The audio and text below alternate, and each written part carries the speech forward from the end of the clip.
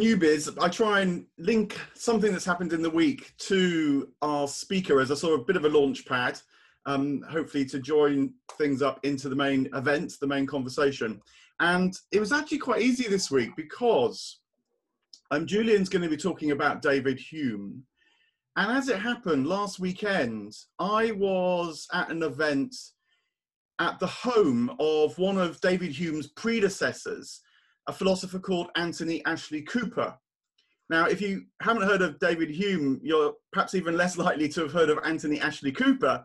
But he, Ashley Cooper, was actually said to be the, the most famous 18th century philosophy, philosopher. And he was, I think, an influence on David Hume. Um, I was at his old house, which is St Giles House in Dorset, um, because of helping out on a weekend for a group called Doctors in Distress.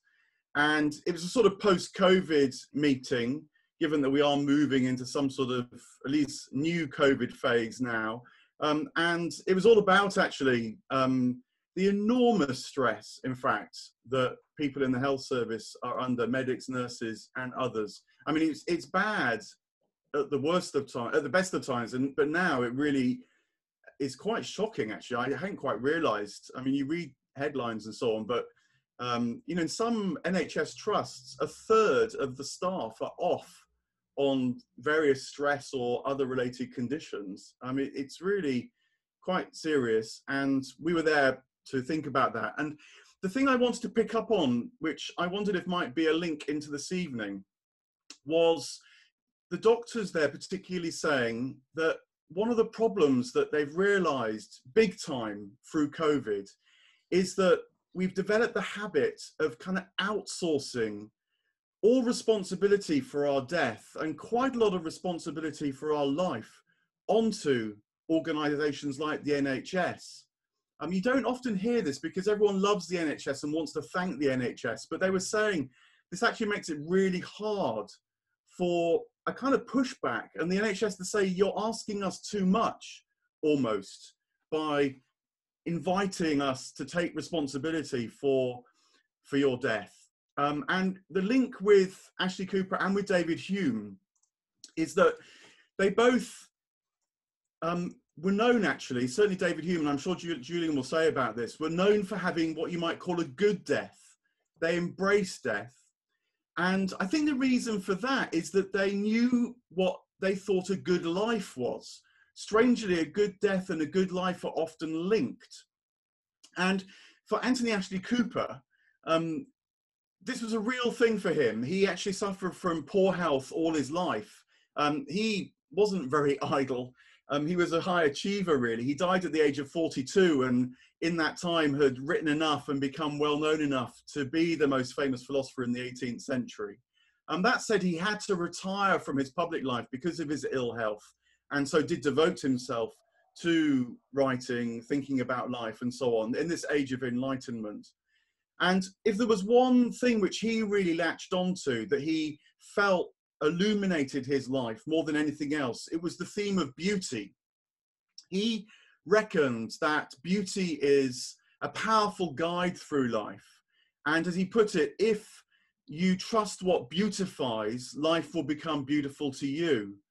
Um, and he, he extended that even into difficulties in life, even to tragedies in life. He felt that beauty was a kind of transcendent quality that even with pain and suffering around, which he knew about, it opens you up to what's most human, in fact, at least some of the time. You know, suffering is always a tricky thing to talk about, but often it's in those moments that we know we know what's most valuable. Um, we know who we love the most, what we value the most, and so on. And he said, you know, I wanted to um, befriend the whole of my life, so I didn't become an enemy in part to myself. Um, you know, wanting certain parts of my life and not wanting other parts of life. Um, so he he applied this kind of criteria of beauty, which he deeply trusted, to the whole of his life, and he felt it gave him a good life and therefore led to a good death as well. Another way of putting it is that he thought the whole of life can be befriended. And alongside beauty, things like humor and friendship were important to him. He was actually the first writer to use the word humor in the modern sense, not of the medical humors as had been, but humor in the sense of wit or mirth. And he, he knew that that word wit has a kind of double edge. It means being amusing, but it also means being smart, actually. And there's some wonderful links that he drew out there. And, and I suspect, I mean, Julian may want to pick up on this, but that fed into David Hume's ideas as well. Um, this might all seem kind of lovely, you know, if you've got it, but what difference does it make in practice and how might it link to what the doctors were talking about? And I think that one key link is to think about education. I think one of the things which we have um, indirectly suffered from and that COVID has kind of exposed, and maybe more needs to be written and thought about this, is an education that is designed to help us succeed in life instrumentally, you know, get qualifications to get jobs, to enter the economic system and so on. And, you know, there's, there's, there's a lot of good in that in many respects. But Ashley Cooper was also known for a much broader sense of education, which was called Bildung, a German word. And actually, it became very influential in continental Europe, this idea of Bildung. And it's really about developing your interests and passions, the appreciation of life. William Blake, actually, the English romantic poet, he picked up on it when he wrote about education and talked about being outside and he meant literally outside in the countryside, but also kind of outside the narrow constraints of life. Um, in order to discover a good life, befriend all things, that therefore also helps this thing that we so often seem to struggle with, the notion of a good death as well. Um, of course, I think this links very nicely to Idler ideas as well. I have actually written about Anthony Ashley Cooper in the Idler magazine, um, but you know, we at the Idler, I think, try and stand for this much broader sense of education and the sense that life can be appreciated, interests can be pursued for their own sake, not because they have instrumental value, and that passions and so on matter as well. Um, idling means having the time to do that very often. So it's kind of nice to see Julian, um, and that I was at Anthony Ashley Cooper's house by chance last weekend, who I think was an influence on David Hume, who he's going to talk about, but also with this application of where we are right now. I, I, I really took on board um, what these doctors were saying, this kind of slightly subtler argument that maybe we can start to address. We need to think about what a good death might be. I think it's deeply linked to what a good life might be. But Tom, I'll hand over to you, and I suspect these might be themes that um, Julian finds in his book on David Hume as well. Well, that's right, Mark. Thanks very much. Because uh, actually, well, it's a biography, and so towards the end of the book, we get a glimpse into how David Hume died, don't we? And he, he died in a very sort of cheerful manner, you say, Julian. But maybe we can come back to that um, and uh, sort of like rock through uh, his life and, and and and the ideas of his that you that you're seeking to sort of um, resurrect in this book. I, I, mean, I remember bumping into you at a festival many years ago. Um, uh, you don't need any introduction, but you've written loads of books. You're you're a, sort of public philosopher. You write in the newspapers. Um, and and you often pop up at these festivals like How the Light Gets In and, in Edinburgh and so on. Um, and I said, well, who's your favourite philosopher? And he said, well, it's got to be David Hume. And I went, oh. Um, and I had absolutely nothing to say because, I, you know, I hadn't read a single word or knew anything about. I didn't even know he was 18th century. He was basically a, a, a contemporary of Dr. Johnson, wasn't he? Um, what, what, was it that led you into him in the first place? And uh, I imagine this book had quite a long gestation. Um, and why did you want to write a book that sort of, in a way, kind of removed him from academia and placed him into the world, so to speak? Yeah, I mean, it's a, it's a, it's, it's a long gestation and a, and a, long story. It's interesting what you when when you said what my answer to that question was. I often say, you know, Hume and and sort of Aristotle as a kind of a pair. I think they're kind of very much sort of cousins. They're both very kind of grounded. They're very much against the sort of excesses of, of their con- contemporaries and near contemporaries. So Aristotle, in lots of ways, reacted against Plato, and Hume reacted against sort of Descartes. And what they're reacting against is that kind of belief that a kind of pure rationality can make sense of the world and life without reference to experience. And, and they were much more prepared to accept the fact that actually making sense of the world is a much messier affair. There's much less certainty but you know, we but at the same time we think as hard as we can. So I think what really attracts me to both Hume and Aristotle, apart from what they actually ended up concluding, I kind of think their approach is is is spot on the money, and that's why I think that a lot of what when we read them today, in both cases, there are certain aspects of their philosophy which have dated, and which we don't necessarily agree with. But you, you don't disagree with with the spirit of it. You don't disagree with with where it's coming from. The approach approach is right, and the idea of doing a book on him. I mean, the, the story of this is rather complicated and rather strange because what happened was I was approached by a South Korean publisher who were putting together a series of 100 books, which was going to be called A Journey Through dot, dot, dot.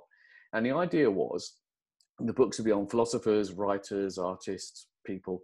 And by, by following them on a, a journey they took in their life, you would have an introduction to their thought. And you know, this was one of those things. I'm a totally freelance writer, apart from a very tiny uh, position at the Royal Institute of Philosophy. At the time, I didn't even have that. And this was nice because they were paying just enough to make me think that this could I could justify the time it would take to do this book on Hume. They, Hume wasn't on their initial list, by the way, but I said he should be, and they said okay. And, and what I wanted to do was it was a commitment strategy essentially, because although I loved Hume, like a lot of people I say I love, there's tons I hadn't read. You know, I say I love Aristotle, but I've only read a fraction of his output. You know, I love Kierkegaard. There's loads I haven't read. Um, you know, the, the, same is true of virtually everyone that I admire and love to my great shame. So I thought if I do this, it's a commitment strategy. I get to commit. I have a reason that I have to spend time reading all the Hume I've never read in my life. And I, I get to do a few little journeys as well. But the point is, the book we now have here, and here's the advert for it, the Great Guide, um, isn't exactly that book because what happened the, um, was. Can I just draw, draw, attention to the the, uh, the posture of your hero here? Yeah. Indeed, very, very much very much trying to catch your spirit there. But this isn't exactly the same book at all because I, I found that you know I loved writing this book and I just found it really really interesting. And I thought you know there was it would be a shame if it just ended up being published in South Korea but also the it would be good to expand on it and perhaps move out of the, the, the, strict format of their series. So what happened was Princeton University Press bought the rights, but I didn't. They didn't just take the manuscript. I worked on it quite a lot more with the with the editor, an excellent editor there, Matt Rohal, and and we produced something which you know stands on its own two feet. Um, and it is interesting because I think, as you say, Hume isn't that well known outside of academia, and in academia, he's not really thought of as a practical philosopher. You know, what, he, what the subtitle is what David Hume teaches about being human and living well. I think a lot of academics would kind of like raise their eyebrows on that and go, well, you know, I think Hume can tell us a lot about the nature of causation and, and the self and mind, but living well.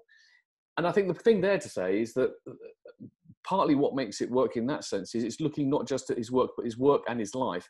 And also his work, his output, more than just those canonical texts we now read. His essays, which he published in his lifetime, which are not really studied at all now, in his correspondence and his and the letters. And you, you build up this rich picture of the philosopher. And I guess that's, that's something that may be changing now, but historically in sort of Anglo-Saxon philosophy, people don't really do that. They focus in. They want to know what. Show me the argument is their thing. Show me the argument, and they don't really have much interest in zooming out and and looking at the life. You know, generally, of course, there are exceptions to this. And that's what's so nice about it. It's got that kind of novelistic sense. It's it is a uh, it is a biography, um, and he's a very likable person in your account of him. And his likability starts right at the beginning when you say that he uh, well firstly he, he, he quit university. You said that was quite normal. Um, like you he, he he wasn't an official academic or anything i don't think. I mean you say actually he was one of the first people who lived by his own wits a bit like dr johnson. He, he made he made his living out of his writing which is amazing and he didn't have any official position. He wasn't a doctor at oxford or anything like that. Um, like you you're kind of out there you know living by your wits. You don't have a kind of regular mm. stipend. Um, but what's so likable right from the beginning is that you say that he was going to study law, but found it nauseous. um, and I'm sure that's so. It's like he just couldn't really stand to do that, and he wanted to do something that was sort of fun, um, a, a lighted on philosophy, and in a way that makes him a kind of an idler. Yeah, no offense to any lawyers in the audience, of course. It just wasn't for him, right? Um, he didn't. He didn't sort of not finish university in the sense that what happened at the time is it was very normal. Just to, just to, you didn't really graduate. You just left. You didn't get a certificate or anything. That was very. They, they went at like normal. 12, didn't they, sometimes? Yeah, and exactly. He didn't really like it, and he ended up saying, "There's nothing to be learnt from a professor that you can't learn from a book." So that kind of, you know, puts Yeah, because, because it's sort of the kind of thing that people might say today, actually. Yeah, and I think that's to be honest. I mean, it's not entirely true. There's something. There's sometimes a- real benefit in having that real engagement with a good with a good teacher. But it's true that a lot of the time, you know, you, you're better off just reading a good, good book on a subject than sort of following some kind of uh, on, on a MOOC or, MOOC or something, whatever it is.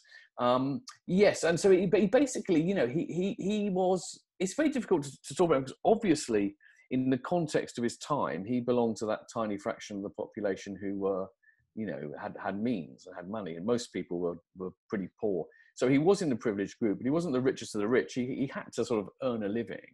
And he realized he had this responsibility so he tried law. He came down to bristol to try and work for a merchant. He lasted about three weeks there. Partly it seems because um, he insisted on correcting the, the the english of the business owner because he thought it was rather um, inelegant and this was not appreciated by the merchant himself and you know it, it was kind of he had, he had a vocation that's what it boiled down to. He wanted to be what he called a man of letters. And you know he tried other things but he kept being pulled back to that. But i mean an interesting experience which might worth be talking about particularly in the context of the idler which is that although he comes across and people who knew him as this very very genial man he had a kind of a whatever some kind of breakdown in his sort of late teens and his, his early his early youth. And it, which never occurred. But the point is this: he concluded that the, reason was he had simply been too fervent in his work and his studies. You know, he was really keen to learn, and he Meaning he, He was really he was working too hard. He was working too hard, and he had this sort of breakdown. And and there was this correspondence with some doctors, and you know, people refer to it as the disease of the learned. Apparently, this was a very typical thing to do. Um, and, and and but the reason is, it's not because it's nothing sort of romantic about how the intensity of academic work, you know, brings around mental crisis. It's simply the fact you're not going outdoors enough, you're not relaxing enough, you're not walking, you're not exercising, etc., etc. And and he kind of realised this after a while. And from that point on, he always made it a point in his life to take time for relaxation, for walking, for company, for playing billiards or whatever it was. And and and Backgammon that did it one of his favourites, yeah. And backgammon, backgammon. That's one, not billiards, of course, backgammon. And so he um and so he never had that a recurrence of it ever again. It was a really And, well, important that- lesson. That, that was was- thanks to his. That was thanks to his what we would um, call in a less appealing way today work-life balance. Yeah, exactly. He appreciated that point of work-life balance, and but not only that, I think it's, it's more important than that. It's not just about your well-being. I think it's also there's a similar kind of version of that, which is important to sort of doing good philosophy or good intellectual work, because you know I think he believed that if you got too wrapped up in your theories and your ideas, you end up getting immersed in them, and you you you, you lose touch with reality in a sense. You need to sort of go back to the real world to sort of keep your philosophy grounded. And, that you know so when his when he talked about cause and effect which is you know can be a rather dry abstract metaphysical sort of issue you know he he, he it was partly the, the cure for getting too sort of caught up in these tangles was to go and play backgammon with his friends. But i think that also meant that the conclusions he came to were you know he, he he always knew that if you didn't come to a conclusion which in somehow reconciled philosophy with our experience of the world you you had failed you know and any philosophy which sort of like asserts something which simply you, you, you cannot bring back to a, a, a fully lived life is, is a philosophy which has got to be flawed in some way. Now, I was quite interested to find out, Julian, that you say he was very much an anti-Stoic. You know, Stoicism Mm, as a philosophy is sort of massive now. Um, yeah, Silicon Valley philosophy. Every few months, there's another book about, you know, um, Epictetus and Stoicism and how Stoicism for the modern world and so on and so forth. yeah. Um, and you know, it's quite an attractive philosophy in some ways, um, but Mm. it's pretty harsh, and that's I think what he was trying to, what, what he pointed out. Could you just sort of? yeah, I think so. Now, I mean, thi- this is fun. This is fun because I mean, there's quite a lot of people who are kind of advocates of modern Stoicism. I think Mark's been quite sort of enthusiastic about certain aspects of Stoicism, shall we say, um, in in the past. And and, it's, and obviously they they they they read well. They a lot of their advice is very good. yeah, etc., etc. But for my money, the bottom line is this: that um, the, the a lot of the Stoic advice, if you take them as aphorisms and bits and pieces, it can boil down to really good practical advice. You know, don't sweat the small stuff, keep things in perspective, accept there are certain things that are not in your control. Don't try and control what you can't control. And all these things are very true and they're very wise. And people say, that's great. So the Stoics are fantastic. But I think, you know, if, if my view is that if you read the Stoics properly, and I have David Hume on my side in this, um, what the Stoics are ultimately trying to get you to achieve is to make sure your happiness and your well being is not dependent upon anything external to yourself, right? Even, so you, it's even all, the death of a child, your your own child. Even the death of a child, yeah. yeah. I mean, they obviously know that you're not going to achieve this degree of sagehood where you're you're literally not going to be affected by that. But that's kind of the ideal. If you if you if you if you put these ideals into practice, you wouldn't be bothered by the death of your child. You would go, so be it. Nothing lasts. Um, everything goes. Nothing to do with me, Gov. I can't stop it. Goodbye. You know. And and and and, and, and you know and, and so that, that's what they really were advocating. And, Hume thought that was too harsh. So what's interesting is you get a lot of things in Hume, which if you uh, read Stoicism superficially, or you've read some of the popular books, you might go, that sounds very Stoic. But my controversial thesis I'll keep repeating, um, and by I should I'll say something else in a minute, is that as far as I can see, everything the Sto- Stoics say a lot of true things, but the true things they say aren't actually uniquely or distinctly Stoic at all. And what's uniquely and distinctively Stoical, which is not to make your well-being dependent upon anything external, is is too harsh and wrong. Now, I should just say, footnote alert here.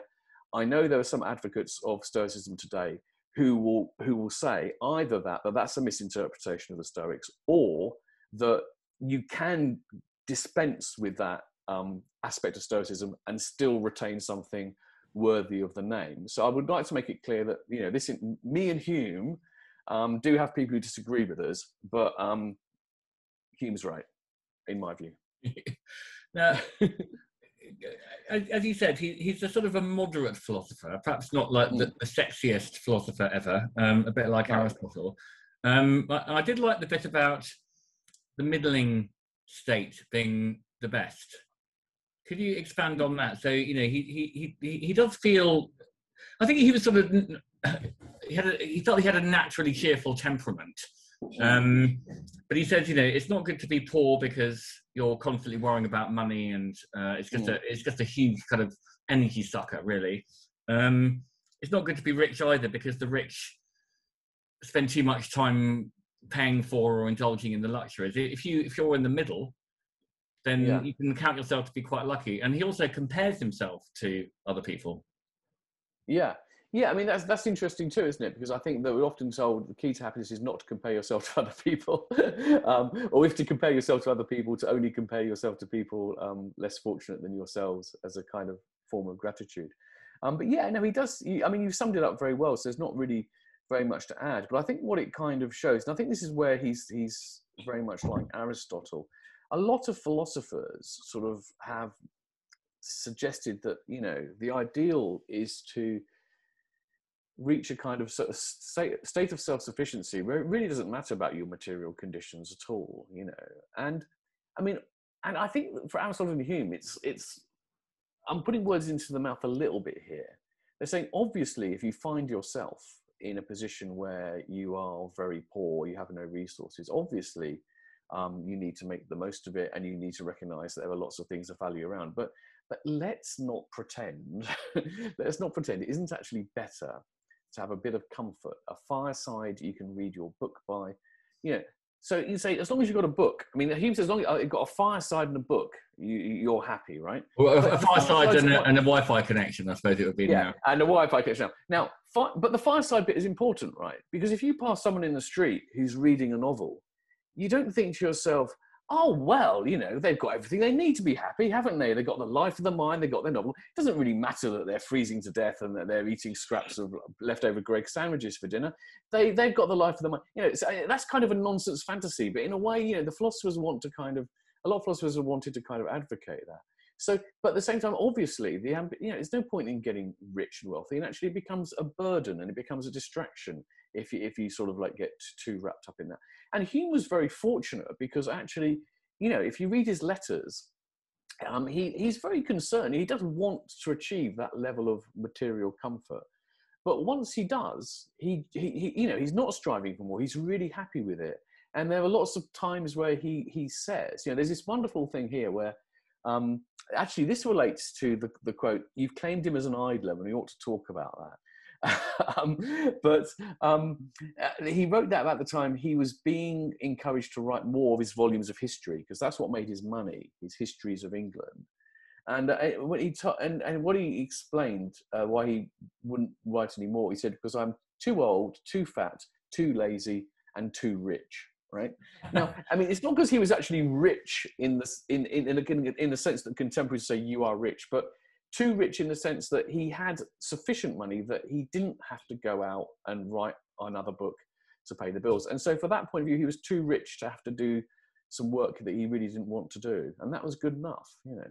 And he probably he wasn't really that fat or that lazy either. He he, he had again, it's another appealing aspect of his personality, I suppose, to, to call yourself fat, lazy, and um, too rich. He was quite fat. He was quite okay. fat, but he wasn't lazy at all. No, he wasn't lazy. But I mean, so this goes back to the idler thing, and I know you know I've been I've sort of we've we've crossed paths many times from the early days of the idler, and it's always this question, you know, for an idler you seem to be very very productive, and, and oh, yeah. the point is, you know, and that's not actually a contradiction because the way you understand idling, it's not about not doing things. In some ways, it, it is about precisely about doing things, but it's the manner in which you, you do them. He, he worked hard. He kept working all his life. He was a constant editor and reviser of his books. Um, he replied in correspondence a lot. So yeah, he, he, he did he did he did he did work hard, but he but as I say he, he did he did so in a way that he didn't run himself into the ground, and he he he tried to focus on the things that most interested him, and not get distracted. He was tempted by things that would bring um, you know, I don't know, prestige. I mean, he did almost get a couple of positions at universities, but he was rejected because his views on religion were too uh, controversial. Um, but yeah, at the end of the day, he, he, he, so it, it, was work, but it was it was focusing on what he thought kind of most mattered. And, and it was fun. A lot of bits where he goes to Paris, and uh, although again, it's a bit like the anti-Stoic thing, you know, um, the ancient philosophers the, the, Christian leaders from Francis of Assisi, everything is vanity, you know, don't, don't enjoy adulation and all, all, this sort of thing. But he gets so much adulation in France. I mean, he gets adulation from the king and the queen. And he does allow himself to enjoy it. And you think, yeah, what's wrong with that? You know, just like, enjoy it for a bit, David. I mean, you've earned yeah. it. Yeah, no, exactly. I mean, he kind of, he had a, he had a sort of um, ambivalent relationship with crowds and company. Um, he liked people. He liked it. But he also craved solitude as well, and I think that's quite nice because you know he's living out a tension that a lot of us have. You know, and I think it's a bit simplistic that we're nowadays encouraged to sort of like if find are you an introvert or are you an extrovert and um, most people are a combination of those things or or if they're not a combination of those things in the strict psychological sense of the word it doesn't necessarily mean what it means. So, for example, I would say on on that spectrum, I, am the introvert spectrum. But people assume that means, oh, so you don't like company. And no, I do. I do like company. I do like people. I just like to be able to bugger off and leave them when, when I've had too much. And I don't want it in my face all the time. Mm. Hume, Hume found the adulation and stuff a bit over the top and a bit embarrassing. But yeah, obviously, he did enjoy it. And, and I think people most people would, wouldn't they? You know, but I don't think it let him become arrogant. You know, he didn't. No, it didn't go to his head. He, he, he was enjoying no, it, but exactly. he was also observing it from the outside and finding it quite amusing. Yes, exactly, and I think and I think that's the point. You know, and I think that if if you if you're lucky to, um, you know, receive any kind of praise or, or stuff, I think it should be possible both to enjoy it, but also to be mindful that one shouldn't put too much store on it you know i mean i suppose the thing is you know if you write books for example um uh, you know, make a list of people i mean i can make a list of plenty of people who have sold tons of books and or got huge followings and everything who i personally you know if i'm honest i don't think they're that good really you know um, so if I were to sell loads of copies and receive a lot of adulation, it doesn't mean I'm any good, right? it just means it just means people like it, and that's yeah, nice. That's nice, but it doesn't make me great. You know, it also, wouldn't make it great. Uh, we shouldn't feel bad if we feel bad when things have gone badly either. You know, um, because the the other aspect of that stoic thing is that you know when things go really well, keep detached from it, and when things go badly or you know you feel an attack on your ego, I often feel it's you know it, it's okay to sort of allow yourself to feel sorry for yourself for a bit. Um, yeah, yeah. You know, not, not, not exactly yourself, and then go it's, back. It's that being human. I mean, pride as well. I mean, he talks about pride, and he says, look, if you think about it, you know, um, if if there are certain values or things that you esteem, right, that that and and then and then you behave or or you do something in a way that is in accordance with those values. It's almost like, in virtue of valuing that, you are going to feel a sense of what he calls certain sort of pride. It's kind of unavoidable and and perfectly fine, you know. Um, so again, it's when pride just tips over into that overweening sort of arrogance and conceitedness. That's mm. what you got to watch out for. Now, so you know, was, he, he is that philosopher of moderation, which you said at the beginning, which is so important. Now he was a contemporary, Julian, of Dr. Johnson, wasn't he? But I, I, don't see any evidence that he, he met him, although he did he did meet Boswell. But actually, mm. they remind me a little bit of each other. And one of the things I think your book is really good at is um, celebrating that 18th century way of writing it's quite funny. You know, he talks about his swelling belly, for example, when, when he gets fat. Um, and they, they, they had a sort of playfulness with language. I don't really know how to describe it. You bring it out really well, quite long sentences. Um, do you think he knew Johnson? I, I don't know. I don't know. I don't. I don't know if there is any evidence. I mean, he certainly didn't know him well because the thing is, you know, he did correspond with lots of people. The people he really knew you know, like you know, like Adam Smith, for example, he had a very long friendship with Adam Smith. A very, very good book written about that. Um, I suppose he wasn't really in London much, was he? I mean, he, he didn't like London. He he, he liked. No, he didn't like London. The um, what did he call them? The the uh, oh, the oh, there's a phrase he used. Um, uh, um, barbarians of the Thames or something. He thought he thought yeah. Londoners. I mean, you look, I mean, Londoners may be different now. No offense to any Londoners. I've lived in London myself. I, I, I like it a lot. But yeah, can I just point out that you, you, you yourself live in Bristol, don't you, Julian? I live in Bristol. Yeah. So therefore, you know, I don't know. I can, but anyway, but yeah, Edinburgh, Paris. You know, he just thought these were much, much more civilized places. And Edinburgh was extraordinary. You know, it was a real intellectual hub, and it was also small enough. You know, people would bump into each other, and they had these sort of literary societies. It was kind of great it has to be said, you know, caveat time, of course, if you were a man. I mean, it was a very, very male dominated society and women didn't get a look in. In, in France, in the salons, it was slightly more complicated because the, salons were generally run by women and they clearly did play a role. But they, they kind of didn't get the same intellectual kudos uh, as the men, for sure and again i think one of the things i do try and stress in my book is that you know it's always a huge mistake to sort of idolize anyone. Hume was a great philosopher a lovely human being but you know was he flawed? Absolutely. Um, a lot of it to do with his time. And you know he, did, he didn't he didn't manage to rise above that. If you look about his attitude to, to women it's certainly not um, horribly misogynistic but he had these stereotypes about them having um, you know, he kind of praises their intelligence in ways which actually are kind of a bit backhanded.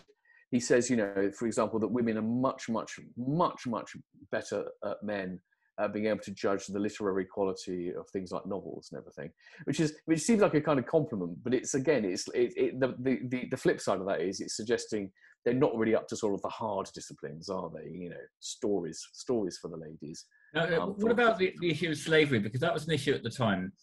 Um, and uh, you know, sometimes people say, "Oh, well, they didn't know what they were talking about. It was a different time. They had different attitudes." But that's not actually true because you look at a simple comparison between uh, Johnson's attitude to slavery and Boswell's. Mm. So Dr. Johnson, you know, he was well known for saying, "Here's to the next slave uprising in the middle in the West Indies." Um, of course, it was the time of the American Revolution. So, and he said when when America was trying to free itself from the grip of George the Third, um, because they didn't want to pay tax to England, and um, uh, Dr. Johnson said things like, "How is it that we um, hear the loudest whelps of liberty from among the drivers of the slaves?"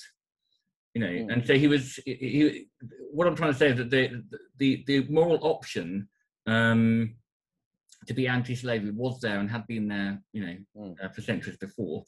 Um, do you know where Hume stood on that sort of spectrum? Or did he not involve himself in those sort of moral he, issues? He, he was he, he wasn't involved in campaigning uh, or, or that kind of thing. He was uh, he said very explicitly that slavery was awful, was terrible. He was against slavery.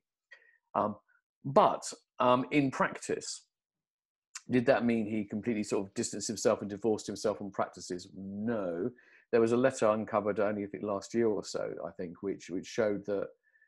I mean, I basically encouraged a friend asked him to ask a friend to make an investment, you know, that kind of thing, in a plantation, and he did, and that he would have known that plantation involved slave labor.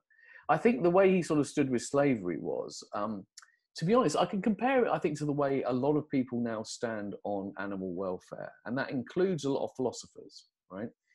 They believe it to be um, animal welfare to be terribly wrong. There's huge problems with it, etc., uh, etc. Et but they kind of, I don't know, they just still kind of assume that the system is the way it is, and that they don't, they're not motivated to take strong action against it. And so, you know, I, I, I, I I'm, I'm not a, vegetarian or a vegan, but I call myself conscientious omnivore. So you won't find me eating meat unless I know it's high welfare meat. But I, I, I, yeah, I meet people, philosophers, and I meet philosophers. I've met loads of philosophers who've said they're absolutely convinced the moral arguments for vegetarianism. For, but yeah, it just for some reason it doesn't. When you eat meat, as, as long as you sort of met the parents and you know how it was brought up, yeah, okay that kind of thing yeah. But anyway so but he was he so he was very much against slavery but it can't be said that he was, enlightened about you know uh, racism issues. Now this wasn't a core part of his think, thinking at all. The, the thing that caused the controversy is a footnote in which which starts with the words i am apt to suspect.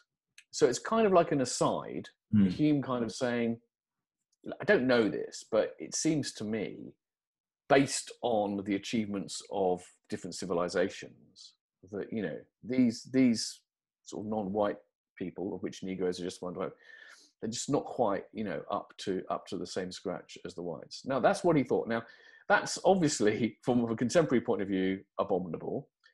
It's not inevitable he would have thought that. There are people like james beattie who who who, who criticize him very strongly for it but at the same time i think so i think that we have to sort of do this delicate balance. I think what people want to do is they want to sort of say hero zero hero villain. Mm. i think we need to balance of saying that this is a stain on hume's character. It's definitely a mistake. He got it wrong. But given the context of his time given things and, and the, tom devine the scottish historian is more forthright than this. He says that people who criticize hume are just being completely anachronistic and don't really understand what's going on. I, I don't think it's quite as straightforward as that because some people didn't. So he is a product of his time. So, so we, we don't think this proves he's a villainous, awful person, but it's a, it's a stain, it's a failing. And, and I think if ever we're going to hold up anyone as someone is like a great guide, someone to follow, it's really important to sort of uh, always recognize the fact that no one is a complete model to follow. Gandhi was a racist, for example. You know, Gandhi said lots of terrible things about about the blacks. I mean, if you look at historical figures, pretty much, you know, uh, who's left who you can say is a has got no serious stain against their character. It all goes down to Nelson Bleeding Mandela, doesn't it? I mean, the, the, the, the only person who keeps, comes close to having a reputation that, it, it, and, yeah, deservedly. What, but what a rarity that is. And interesting, I think one of the one of the little ironies, which is quite amusing, which shows how dangerous it is to sort of like try to hold everyone to an absolute standard, is that the original campaign to rename David Hume Tower in Edinburgh, uh, take his name off it because they thought this was honouring a racist suggested naming it instead against the uh, founder, the first president of, of Free Tanzania, I, I, believe. And this person turns out to have been a horrible homophobe, right? So they quickly withdrew that. You know, if it, it's, you know, I, I don't like that nobody's perfect shoulder shrugging thing. You know, hey, well, nobody's perfect, so let them off. But um, you don't have to sort of again it's, it's not a case of this person's uh, this this proves he's a villain and therefore let's let's burn him. Or no it's okay there's nothing wrong. We, we could be a bit more subtle than that can't we? We can. Now, let's just go back to his death because that's how we opened this hmm. conversation. And mark was talking about death uh, and there's a lovely passage about how he died.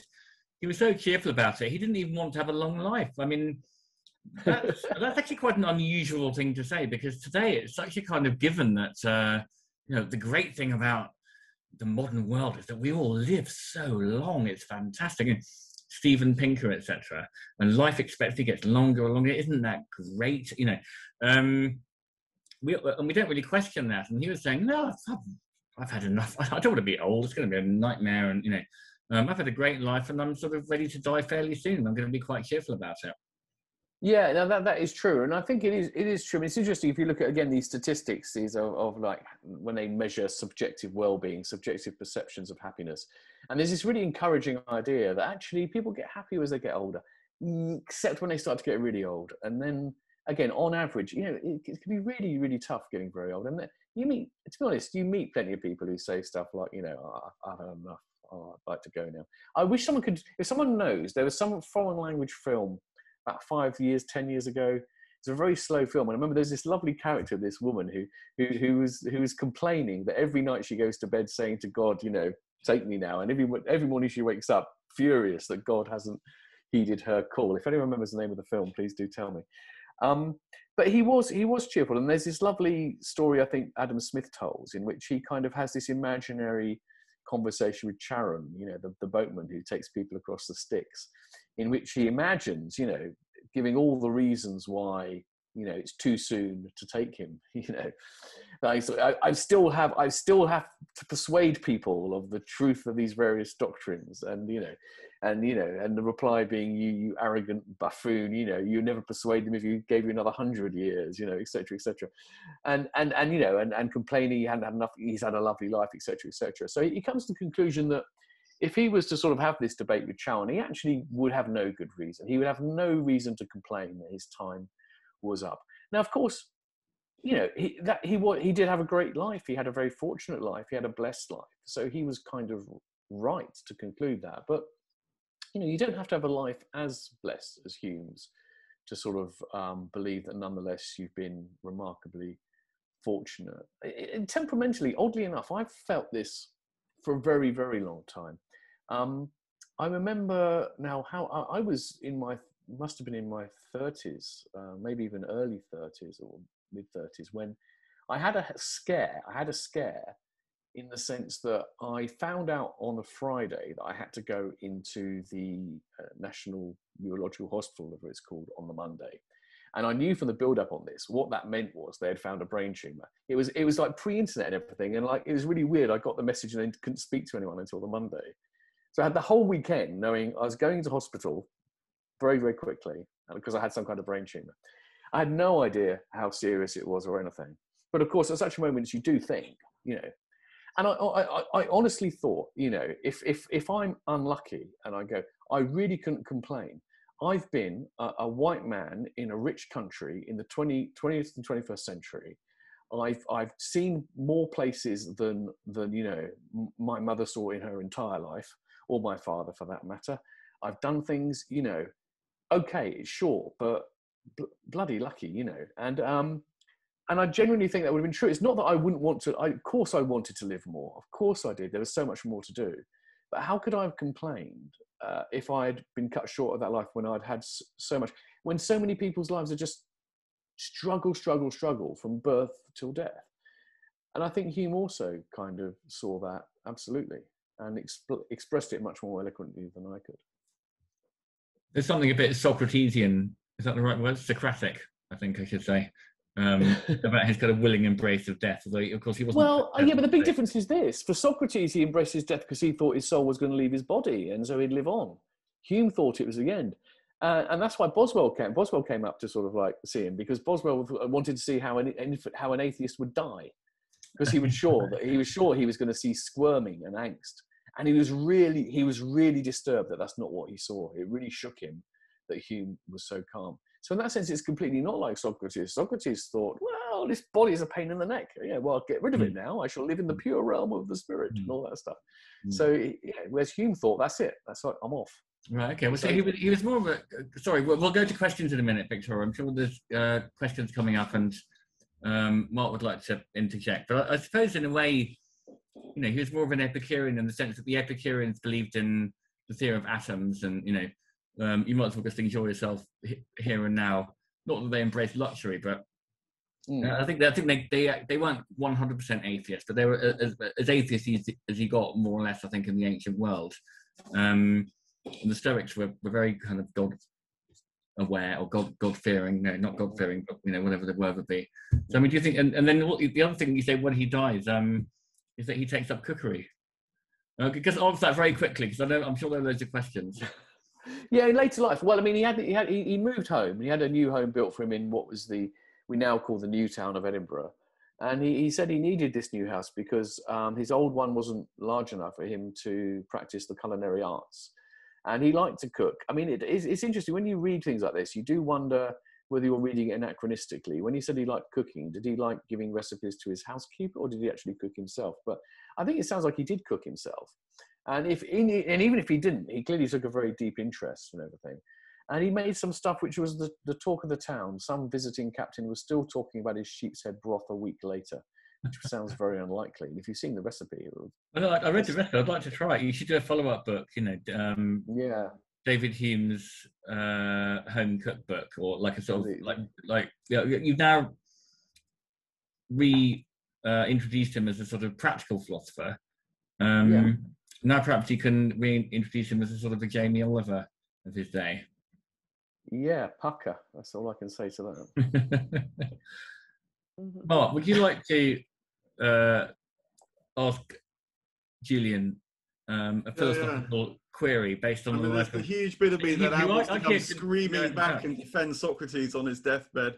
Mm, yeah, of course you do. Of course you do. But uh, I, th- I, think that, I, I, actually think they they they they deaths can be compared because they both believed knowing what they had reckoned life had taught them. That that that seems to me to be the common thing. That, that even the ultimate test, if you like, um, their philosophy stood up, which is mm. really the test, especially when you know philosophy is all very well having a good argument, but does it get mm. into your heart and soul, sort of thing? Not that yeah. Hume would have believed in your soul, but we won't go there. But what I did want, to, what I did want to um, ask you about it, I, I, do you think that part of David Hume's problem is that he's been a bit weaponized? particularly in recent times. And this does touch on, you know, recent disputes about atheism and all that. Because if you do get into David Hume, the one thing you'll probably come across is some screaming atheist saying extraordinary things require extraordinary evidence and all that kind of stuff, which is then. Well, I mean, I think he did say it somewhere, but what you've shown is that he says so much more. And, and I and I sort of feel that that it's a shame when that's all that is kind of known about him. Um, yeah, so you weaponized as in as part of the kind of religious bashing um, brigade. No, I agree, and it's actually completely inaccurate to say that.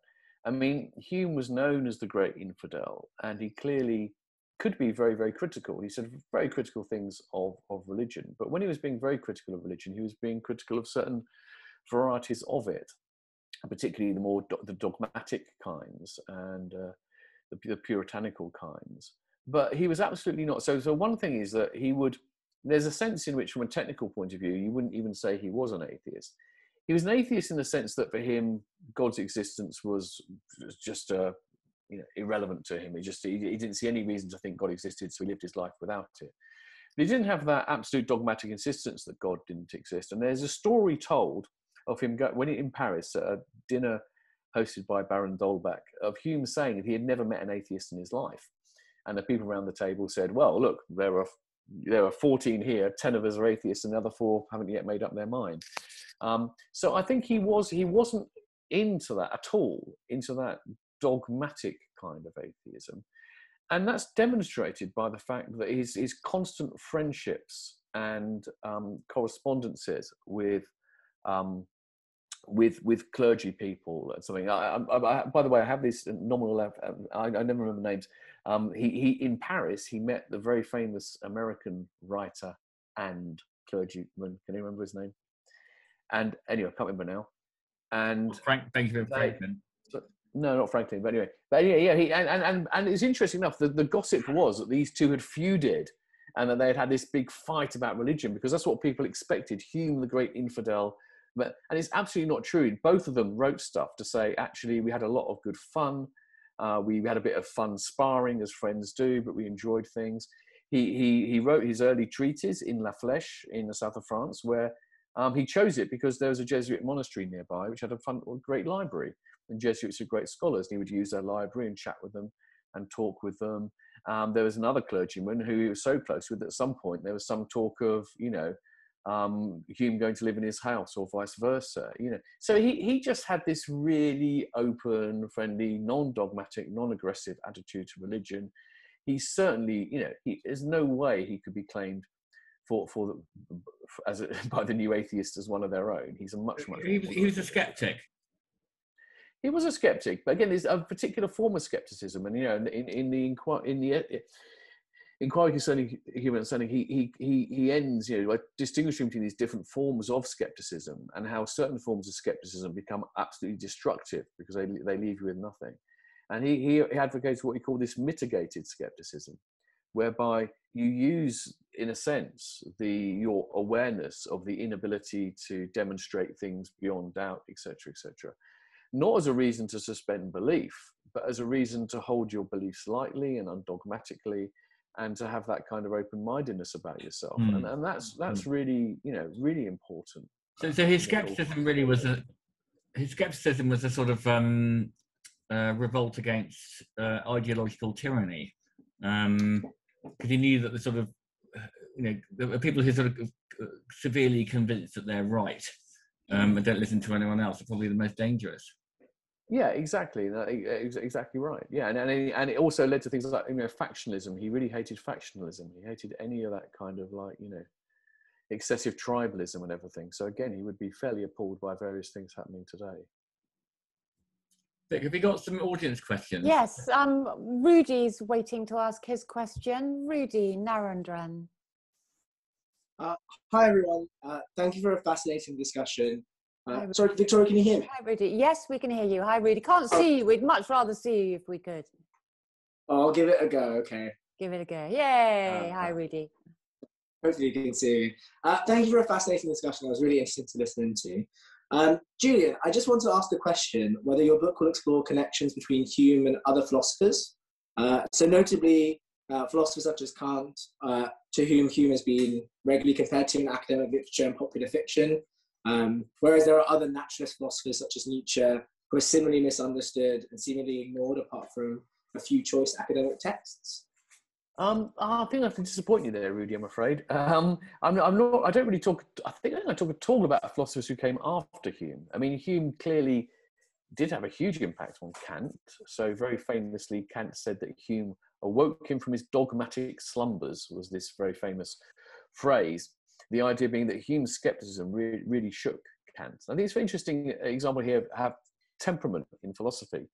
Hume's skepticism was something that he could sort of live with and be comfortable with. Whereas Kant, Kant was horrified. You know? For Kant, if there's no way of establishing the firm foundations of knowledge, then it's the end of the world. I, so I've got to go and fix what Hume has has has has um, buggered up. So no, I don't. And and to be honest, the whole approach isn't to get into that kind of really um, scholarly kind of approach, which which is partly because of my own limitations, you could say, but it's partly because I think that that's the kind of thing that it's so easy to get sucked into.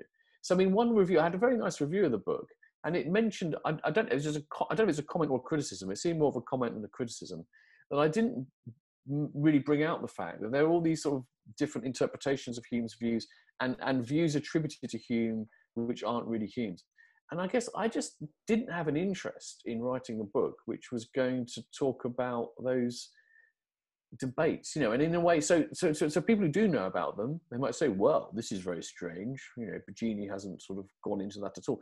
But I'm thinking, what, what's interesting about Hume for someone who knows nothing about Hume and is interested in the issues Hume is talking about, and I'm going to write about them. Brilliant. So you need to read a different book, unfortunately, Rudy, if you want to know about Hume and Kant or Hume and Nietzsche. Rudy, do you have something yeah, to work on that? Yeah. You've obviously read. Well, well